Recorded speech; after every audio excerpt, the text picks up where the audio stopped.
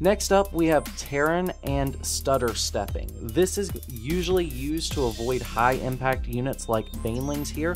What Disrespect is doing in order to do this is right clicking uh, behind his Marines, then attack clicking, right clicking, and then attack clicking. And this allows him to run away during the cooldown where his Marines would not be able to fire due to attack speed anyway. So he is using the best of that time.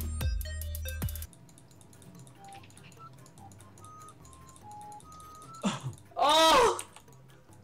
What the fuck?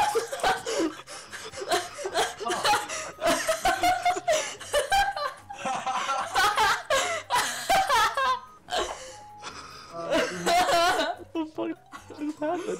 Wait, can, can I do this for real? What? Safety platform. I didn't know I could micro all the way back here. This is so unfair. Oh, they still take forever to kill.